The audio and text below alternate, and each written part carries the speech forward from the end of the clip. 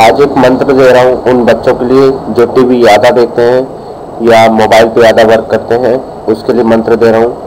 ओम, क्लिम क्लिम क्लिम क्लिम क्लिम क्लिम, रांग, रिंग, नमे, हरि।